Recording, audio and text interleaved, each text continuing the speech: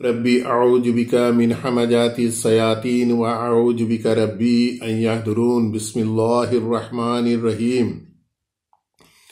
رب اشرح لي صدري ويسر لي أمري واحلل عقدة من لساني يفقه قولي ربي জিদনি ইলমান প্ৰিয় দৰ্শকবৃন্দ আপোনালোক আটাইলৈকে জনাইছো শান্তি বৰ্ষণৰ আহ্বান চালামুন আলাইকুম আপোনালোক সকলোৰে ওপৰত আল্লাহৰ কৰোণা বৰ্ষিত হওক মহান আল্লাহৰ প্ৰত্যক্ষ অনুগ্ৰহৰ ফলশ্ৰুতিত আমাৰ এই একমাত্ৰ পথ নামৰ ইউটিউব চেনেলটিৰ মাধ্যমত আমি চলাই অহা কোৰাণ মজিদৰ অসমীয়া অনুবাদ চৰ্চাৰ ধাৰাবাহিকতাৰ আজিৰ এশ তিৰাশী নং খণ্ডটিলৈ মই আপোনালোক সকলোকে জাতি, ধৰ্ম, বৰ্ণ নিৰ্বিশেষে আমন্ত্ৰণ জনাইছো।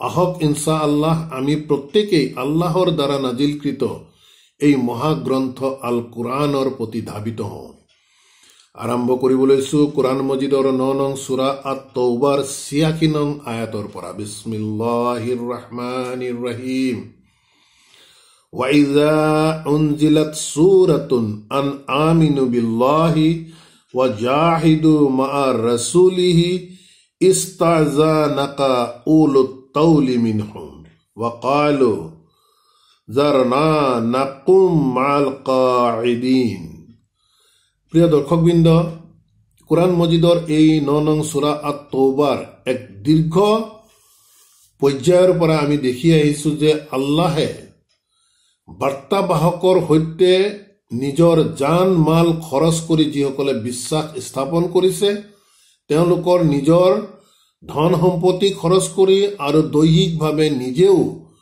বাৰ্তাবাহকৰ সৈতে আল্লাহৰ পথত এক অভিযানত ওলাই যোৱাৰ বিষয় এটা বিতংভাৱে চৰ্চিত হৈ আহিছে এক দীঘলীয়া পৰিক্ৰমাৰ পৰা। আৰু এনে অভিযানত ওলাই যোৱাৰ ক্ষেত্ৰত তাৰে যিসকল লোকে প্ৰকৃততে মুখেৰে বিশ্বাস আনিছো বুলি কৈছে কিন্তু অন্তৰত যিসকল লোকৰ বিশ্বাস অনা নাই। অৰ্থাৎ দুমুখীয়া চৰিত্ৰ যাক আল্লাহে মুনাফিক বুলি অভিহিত কৰিছে। সেই তেনে লোকসকলৰ চৰিত্ৰ আল্লাহে বিস্তৃতভাৱে পুংখানুপুংখভাৱে আমাৰ আগত দাঙি ধৰিছে আৰু সেই চৰিত্ৰ আমাক পৰিচয় কৰাই দিছে যাতে আমি তেনেধৰণৰ দুমুখীয়া চৰিত্ৰৰ পৰা সদায় দূৰত থাকি আল্লাহৰ পথত আমি আগবাঢ়ি আহোঁ। গতিকে আল্লাহৰ সেই অভিযানৰ ধাৰাবাহিকতাৰ প্ৰসংগৰ লগত সংগতি ৰাখি এই ছিয়াশী নং আয়াতত আল্লাহে কৈছে ৱাইজা উনজিলাত চুৰাতুন আৰু যেতিয়া এটা চূড়া নাজিল কৰি দিয়া গ'ল আন আমিনু বিল্লাহি আৰু চূড়াটো নাজিল কৰা গৈছে যে আমিনু বিল্লাহি চূড়াটোত কোৱা গৈছে আল্লাহৰ ওপৰত বিশ্বাস স্থাপন কৰা। ৱা জাহিদু মা ৰচুলিহি ৱা জাহিদু আৰু সৰ্বাত্মক চেষ্টাত সৰ্বাত্মক জিহাদত আল্লাহৰ পথত বাৰ্তাবাহকৰ সৈতে ওলাই যোৱা। ইস্তাজানাকা তেতিয়া সিহঁতে তোমাৰ অনুমতি বিচাৰিলে। উলুত্তাউলি সেইসকল মানুহে যিসকলে প্ৰকৃত তাউলি আৰ্থিক দিশৰ পৰা স্বচ্ছল এই চূড়া নাজিল হৈ যেতিয়া আল্লাহৰ ওপৰত বিশ্বাস স্থাপন কৰিবলৈ ক'লে আৰু সৰ্বাত্মক চেষ্টাত বাৰ্তাবাহকৰ সৈতে জিহাদত আল্লাহৰ পথত ওলাই যোৱাৰ যেতিয়াই নিৰ্দেশ হ'ল তেতিয়া সিহঁতৰ মাজৰ যিসকল আৰ্থিকভাৱে স্বচ্ছল লোক আছিল সেই মানুহবোৰে ইস্তাজা নাকা ৰচুল চল্লাহ কৈছে তোমাৰ পৰা অনুমতি বিচাৰিলে মিন হুম সিহঁতৰ মাজৰ পৰা সেই আৰ্থিক স্বচ্ছল লোকসকলে। ৱা কালু আৰু কৈছিল যাৰ না আমাক অব্যাহতি দিয়া। এই অভিযানত ওলাই যোৱাৰ পৰা আমাক অব্যাহতি দিয়া।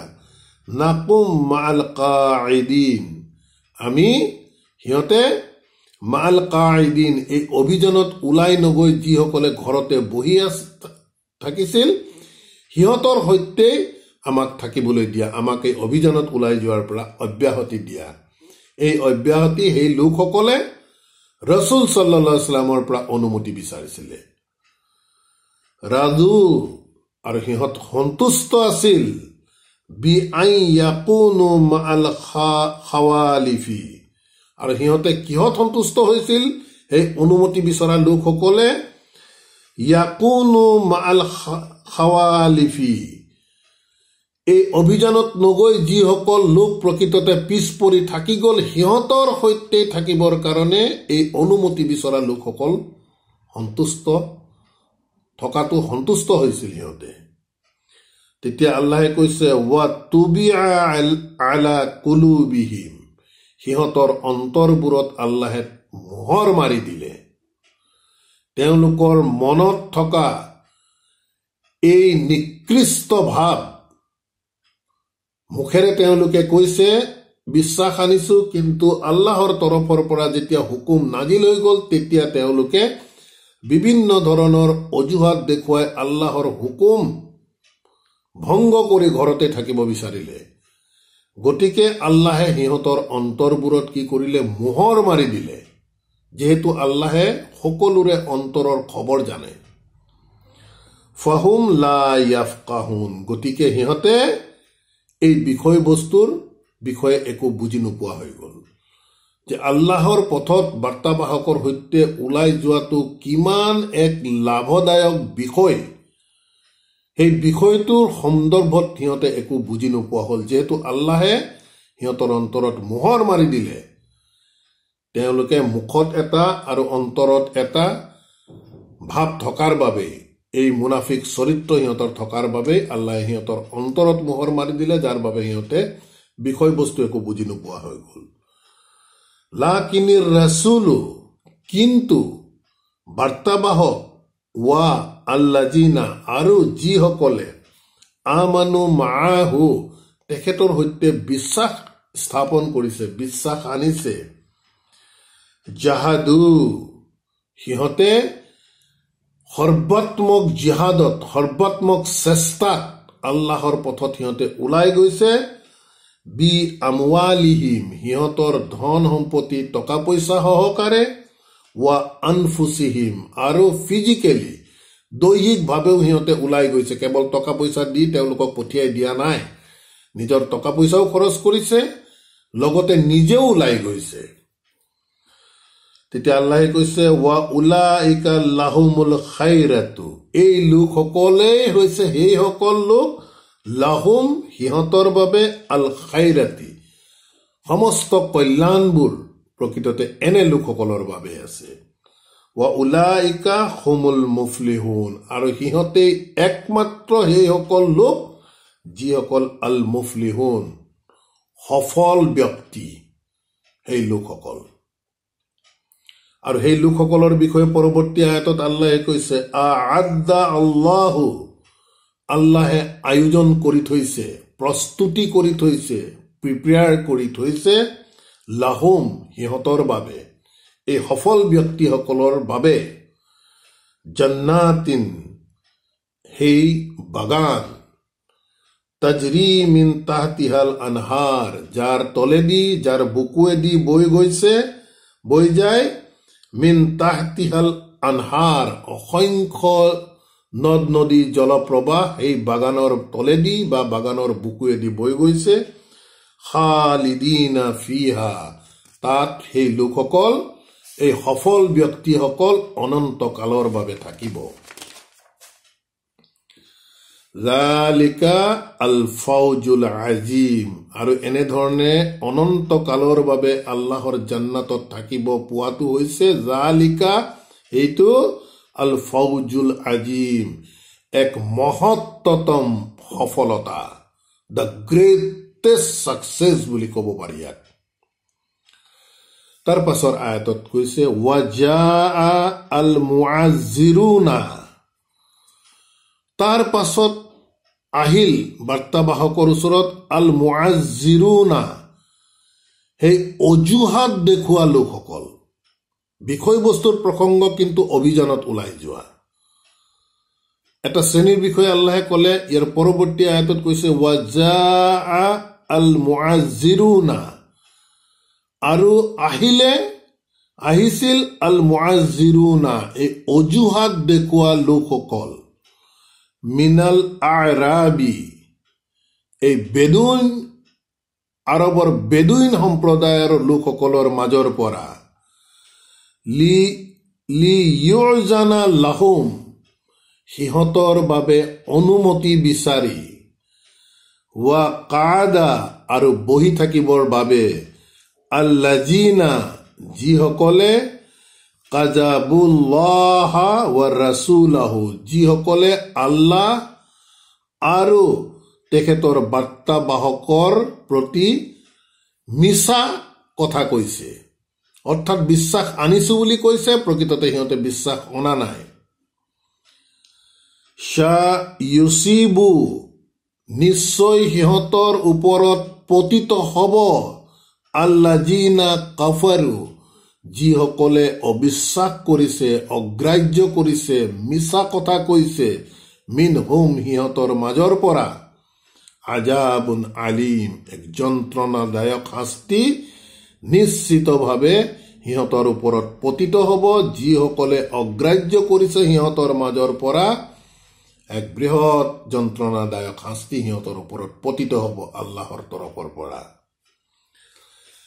তাৰ পাছৰ আয়তত আল্লাহে কৈছে লাইচা নহয় নেগেটিভ চেন্সত এই শব্দটো দি আৰম্ভ কৰিছে আয়াত। লাইচা আলা। তেওঁলোকৰ ওপৰত নহয়।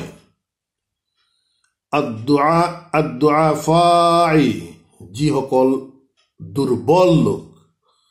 মন কৰি যাব বিষয়বস্তুৰ প্ৰসংগ কিন্তু বাৰ্তাবাহকৰ সৈতে ওলাই যোৱা অভিযান সন্দৰ্ভতেই চলি আছে। গতিকে আল্লাহে কোন কোন শ্ৰেণীক আল্লাহৰ তৰফৰ পৰা কি কণ্ডিশ্যনত অব্যাহতি দিছে সেই দিশটো আল্লাহে এই আয়তত আমাক বিস্তৃতভাৱে দেখুৱাইছে। ইয়াত কৈছে লাইচা আলা সিহঁতৰ ওপৰত নহয়। দুৰ্বল লোকসকলৰ ওপৰত। ৱালা আলাল মাৰদা আৰু যিসকল অসুস্থ বেমাৰী লোকসকলৰ ওপৰত।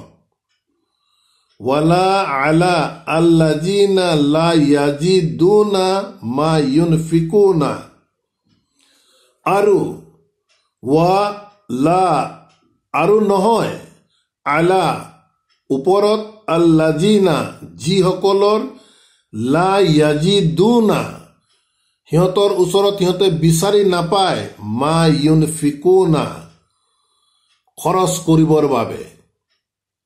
গতিকে তিনিটা শ্ৰেণী আল্লাহে ইয়াত দেখুৱাইছে। আয়াত আৰম্ভ হৈছে লাইচা দি নেগেটিভ চেন্সত হাৰাজুন অপৰাধ। গতিকে অপৰাধ নহয়। কাৰ কাৰ ওপৰত? যিসকল দুৰ্বল শ্ৰেণীৰ লোক যিসকল অসুস্থ লোক আৰু সেইসকল লোক যিসকলৰ প্ৰকৃততে অৰ্থ ব্যয় কৰিবৰ বাবে সিহঁতে একো বিচাৰি নাপায়, সিহঁতৰ ওচৰত একো নাই। তেনে তিনি শ্ৰেণীৰ লোকসকলৰ হাৰাজন কোনো ধৰণৰ অপৰাধ নহয় বুলি কৈছে, অভিযানত ওলাই নোযোৱাৰ ক্ষেত্ৰত। ইজা, যদিহে নাচাহ লিল্লাহি ৱা যদিহে এই লোকসকল নাচাহ লিল্লাহি, আল্লাহৰ প্ৰতি একাগ্ৰ, নিষ্ঠাবান হয় ৱা ৰচুলিহি আৰু তেখেতৰ বাৰ্তাবাহকৰ প্ৰতি যদি একাগ্ৰ হয়, নিষ্ঠাবান হয় চিৰিয়াছ হয়, তেন্তে এই তিনি শ্ৰেণীৰ লোক যদি বাৰ্তাবাহকৰ সৈতে অভিযানত আল্লাহৰ পথত ওলাই নাযায় তেতিয়াহ'লে তেওঁলোকৰ কোনো অপৰাধ ধৰা নহ'ব। মা আলাল মহচিনা আৰু যিসকল মহচিন কৰ্তব্যপৰায়ণ সত্য হক কামত যিসকলে নিজক নিয়োজিত কৰিছে। মা আলা, সিহঁতৰ ওপৰতো নহয় আল মহচিনা মিন চাবিলি এই পথত ওলাই যোৱাৰ ক্ষেত্ৰত যিসকল প্ৰকৃততে কৰ্তব্যপৰায়ণ লোক, সিহঁতৰ ওপৰতো কোনো অপৰাধ ধৰা নহ'ব। যিহেতু, ৱাল্লাহু গফুৰুন ৰহিম, যিহেতু আল্লাহ পৰম ক্ষমাশীল আৰু পৰম দয়ালু।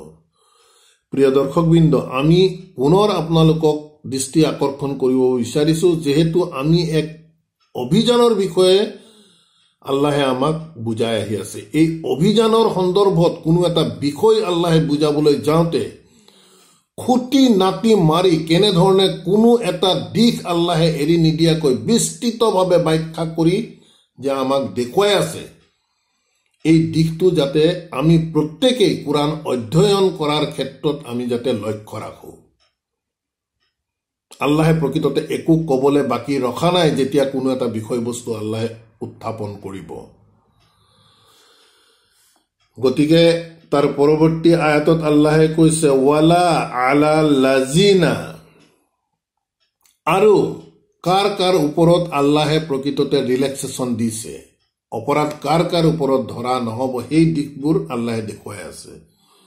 ৱা লা আলা আৰু সেইসকলৰ ওপৰতো নহ'ব।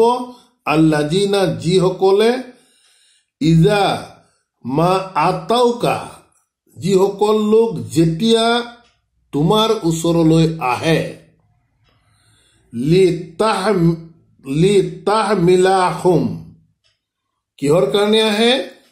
সিহঁতৰ বাবে বাহন বিচাৰি আহে অৰ্থাৎ যিহেতু দীঘলীয়া পথলৈ যোৱাৰ অভিযানৰ বিষয়ে চৰ্চিত হৈছে ইয়াত গতিকে নিশ্চিতভাৱে সেই সময়ৰ উটেই হওক বা ঘোঁৰাই হওক যিবোৰ বাহন হিচাপে ব্যৱহাৰ কৰিছিল সেই বাহন বিচাৰি যিসকল লোক বাৰ্তাবাহকৰ ওচৰলৈ আহে তাৰ পাছত কণ্টিনিউ আয়াতটো মন কৰি যাব। কুলতা তেতিয়া তুমি কৈছিলা লা আজিদু মা আহমিলু কুম আলাইহি। লা আজিদু মোৰ ওচৰত নাই মই কোনো বস্তু নাই। ৰচুল চল্লাহ ইছলামে কৈ দিলে কুলতা তেতিয়া তুমি কলা লা আজিদু মোৰ ওচৰত কোনো তেনেকুৱা মই বিচাৰি পোৱা নাই। মা আহমিলু কুম তোমালোকক বহন কৰিবৰ বাবে আলাইহা আলাইহি তাৰ ওপৰত। অৰ্থাৎ বাৰ্তাবাহকে ক'লে যে কোনো তেনেধৰণৰ এক্সট্ৰা উটেই হওক বা ঘোঁৰাই হওক বা যিয়ে বাহন সেইটো সময়ত ব্যৱহৃত হৈছিল বাৰ্তাবাহকৰ ওচৰত কোনো যিহেতু এই লোকসকলে বাহন বিচাৰি আহিছিল তেওঁলোকৰ নিজাববীয়া বাহন নাছিল। বিচাৰি আহোঁতে যেতিয়া বাৰ্তাবাহকে ক'লে যে মোৰ ওচৰত তেনেধৰণৰ কোনো ধৰণৰ এক্সট্ৰা বাহন নাই যে যি বাহনে তোমালোকক বহন কৰি নিব পাৰিব এই কথা শুনি সেই বাহন বিচাৰি অহা লোকসকলৰ বিষয়ে কৈছে টাৱাল্লাও তেতিয়া সিহঁতে তাৰ পৰা ঘূৰিলে। বাৰ্তাবাহকৰ সেই মন্তব্য শুনি ৱা আয়ুনুহুম আৰু সিহঁতৰ চকুবোৰ নফিদু মিনাদামি চকুৰ পানী চকুবোৰ সিহঁতৰ চকুৰ পানী অশ্ৰুৰে ভৰি পৰিল হাজানান দুখৰ অশ্ৰু। যেতিয়াই তেওঁলোকে অভিযানত যোৱাৰ মানসেৰে আহিছে আয়াতটোৰ পৰা আমি বুজিব পাৰিছো।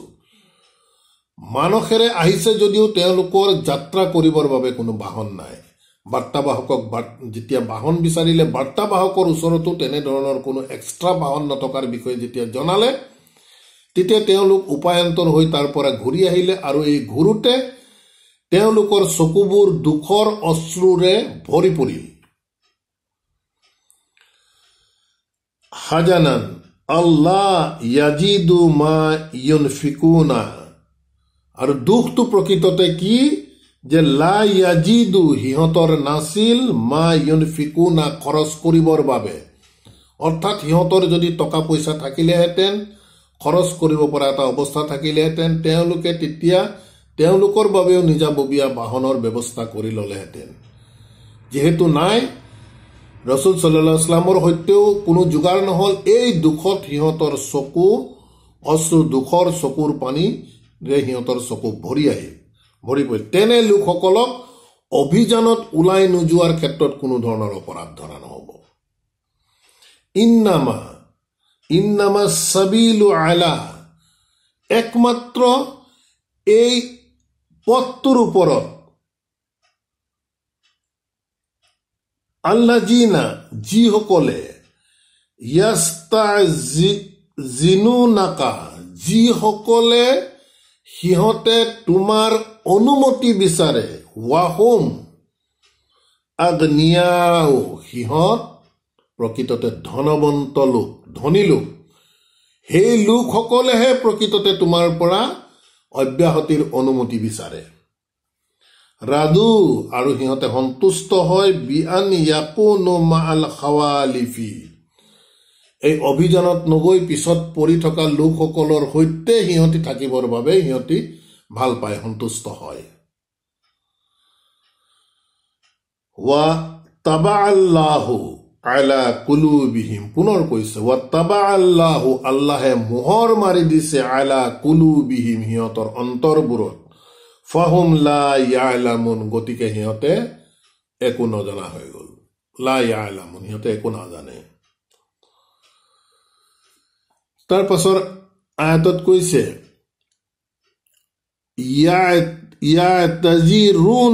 ইলাইকুম সিহঁতে তোমালোকৰ ওচৰত বহুতো অজুহাত দেখুৱায়। সিহঁতে অজুহাত দেখুৱায় ইলাই কুম তোমালোকৰ ওচৰত। ইজা যেতিয়া ৰাজা তুম ইলাইহিম যেতিয়া তোমালোক সেই অভিযানৰ পৰা ৰাজা তুম তোমালোক ঘূৰি আহা ইলাইহিম সিহঁতৰ ওচৰলৈ। তেতিয়া সিহঁতে যে নগল তাৰ বিভিন্ন ধৰণৰ অজুহাত দেখুৱাই বুলি কৈছে।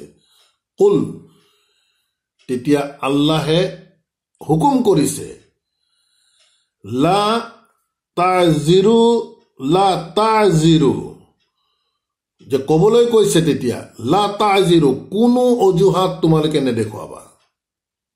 এই অভিযানত পৰা ঘূৰি অহা লোকসকল যেতিয়া এই ঘৰতে বহি থকা লোকসকলৰ ওচৰলৈ অভিযানৰ পৰা ঘূৰি আহিল তেতিয়া ঘৰত বহি থকা লোকসকলে বিভিন্ন ধৰণৰ অজুহাত দেখুৱাইছে যে কিহৰ কাৰণে সিহঁতে এই অভিযানত ওলাই যাব নোৱাৰিলে। তেতিয়া আল্লাহে হুকুম কৰি কৈছে কল সিহঁতক কৈ দিয়া লা তাজিৰো কোনো তোমালোকে অজুহাত নেদেখুৱাবা। লান নৰমিনা লাকুম কোনো কাৰণত আমি তোমালোকক বিশ্বাস নকৰো। কদ নিশ্চিতভাৱে যিহেতু আল্লাহে আমাক সেই বাতৰি জনাই দিছে। মিন আখবাৰিকুম তোমালোকৰ খবৰবোৰৰ বিষয়ে আল্লাহে আমাক জনাই দিছে। আলাইকুম, আৰু আল্লাহে তোমালোকক এতিয়া চাই থাকিব। ৱাৰচুলাহু আৰু তেখেতৰ বাৰ্তাবাহকেও তোমালোকৰ ওপৰত দৃষ্টি ৰাখিব, চাই থাকিব। চুম্মা, তাৰ পাছত তোৰা দুনা তোমালোকক ঘূৰাই লৈ যাব ইলা আলিমিল গাইবি ৱা শ্বাহাদাতি। ইলা আলিমি, যিজন প্ৰকৃততে জানোতা, নোৱাৰ, যি জানে, কি জানে? আল গাইবি, অদৃশ্য ৱা শ্বাহাদাতি, আৰু প্ৰকাশ্যে থকা যিবোৰ সকলোবোৰ বিষয় দৃশ্যমান গুপুত দৃশ্যমান অথবা গুপুত এই সকলোবোৰ বিষয় যিজনে জানে আলিমি তেখেতৰ ওচৰলৈ চুম্মা তুৰা দুনা তোমালোকক ঘূৰাই লৈ যোৱা হ'ব। ফায়ু নাবিউ কুম তেতিয়া তোমালোকক বিস্তৃতভাৱে জনাই দিয়া হ'ব। বিমা কুন্তুম তামালুন। কি তোমাৰ যি তোমালোকে কৰিছিলা সেই বিষয়ে তোমালোকক বিস্তৃতভাৱে তেতিয়া জনাই দিয়া হ'ব।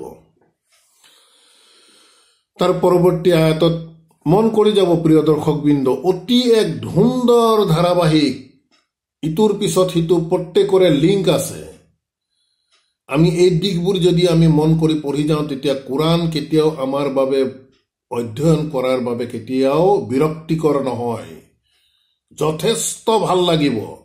বিশ্বাসৰ সহকাৰে যদি আমি বিস্তৃতভাৱে লাহে ধীৰে কোৰাণ বুজি পাওঁ বুজাৰ চেষ্টা কৰো। তাৰ পাছৰ আয়তত কৈছে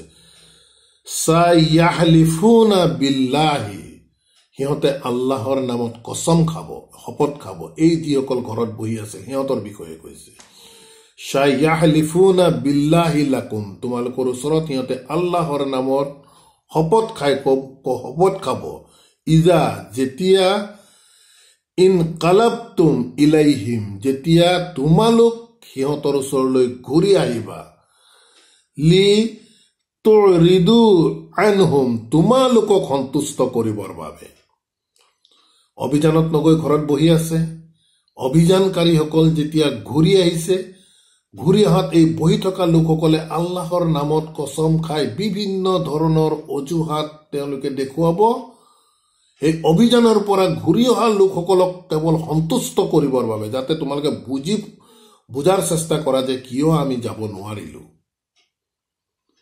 তেতিয়া আল্লাহে কৈছে ফাৰিদু আনহুম সিহঁতৰ পৰা মোক ঘূৰাই লোৱা তোমালোক। অলৰেডি আল্লাহ সিহঁতক ৰিজেক্ট কৰি দিছে তাৰমানে সেইকাৰণে বিশ্বাসী লোকসকলক কৈছে তোমালোকে গতিকে তোমালোকে সিহঁতৰ পৰা আনহুম সিহঁতৰ পৰা মোক ঘূৰাই ঘূৰাই লোৱা ইন্নাহুম ৰিজচুন তেওঁলোক নিকৃষ্ট লেতেৰা মানসিকতাৰ ব্যক্তি সিহঁতি সিহঁতৰ পৰা তোমালোকে মোক ঘূৰাই লোৱা ৱা মা ৱাহুম জাহান্নামা জাহান্নামু আৰু সিহঁতৰ নিশ্চিত ঠিকনা হ'ব জাহান্নাম। জাজা আম বিমা কানু য়াকচিবুন এই সিহঁতে এনেধৰণৰ কৰ্মৰ দ্বাৰা যি তেওঁলোকে ইয়াক শিবুন তেওঁলোকে কামাই কৰিলে উপাৰ্জন কৰিলে এই তাৰেই পৰিণতি হ'ব তেওঁলোকৰ বাবে জাহান নাম পিছৰে এটা পুনৰ কৈছে আল্লাহে ইয়াহলিফুনা লাকুম। সিহঁতে তোমালোকৰ ওচৰত শপত খাব কচম খাব বাৰ বাৰ শপত খাব। লি তাৰ্দু আন হুম যাতে তোমালোকে সিহঁতৰ ওপৰত সন্তুষ্ট হৈ যোৱা। সিহঁতৰ কথা বতৰাত যাতে তোমালোক কনভিন্স হৈ যোৱা সেইবাবে তোমালোকৰ ওচৰত বাৰম্বাৰ সিহঁতে শপত খাব। তেতিয়া আল্লাহে কৈছে ফাইন তাৰ দাও আনহুম। আৰু যদি তোমালোক সিহঁতৰ ওপৰত কনভিন্স হৈ যোৱা সন্তুষ্ট হৈ যোৱা, ফা ইন্নাল্লাহ তেতিয়াও নিশ্চয় আল্লাহ লা ইয়াৰদা, কেতিয়াও সন্তুষ্ট নহয়। আনিল কাউমাল ফাশিকিন। এই ফাশিক, অন্যায়কাৰী কম জাতিৰ ওপৰত আল্লাহ কেতিয়াও সন্তুষ্ট নহয়। তোমালোক যদি সন্তুষ্ট হোৱা, হৈ যোৱা। গতিকে প্ৰিয় দৰ্শকবৃন্দ আলহামদুলিল্লাহ আমাৰ আজিৰ এই অনুবাদ চৰ্চাৰ ধাৰাবাহিকতা আমি ইমানতে সমাপ্ত কৰিব বিচাৰিছো। ইনশাআল্লাহ, আমি আশা ৰাখিম আপোনালোকেও যাতে প্ৰত্যেকে আমি আপোনালোক সকলোৱে মিলি আল্লাহৰ এই আয়াতসমূহ খুব সুন্দৰভাৱে আমি বুজাৰ বাবে চেষ্টা কৰোঁ আৰু আল্লাহৰ এই বাৰ্তা, আল্লাহৰ এই কিতাপ যিহেতু আমাৰ সমাজত গোপন হৈ আছে তাক প্ৰত্যেকেই আমি ইয়াক প্ৰকাশ কৰাৰ বাবে আমি আহক ইনশাআল্লাহ প্ৰত্যেকেই চেষ্টা কৰোঁ ربنا آمنا بما أنزلت واتبعنا الرسول فاكتبنا مع الشاهدين وما علينا إلا البلاغ وما توفيق إلا بالله سلام عليكم